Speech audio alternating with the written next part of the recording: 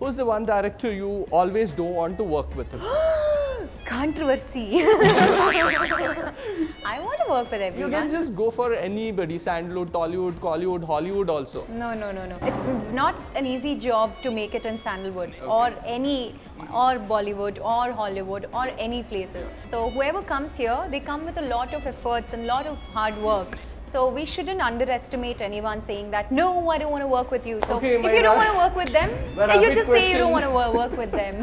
Okay, so you want to work with everybody. Yes, I mean, if the if the story is nice and if the character is nice and if things go good and if I feel like a positive project, Okay. then I would love to work with each and every positive team. If you want to watch YTV on your DTH, call your DTH providers now.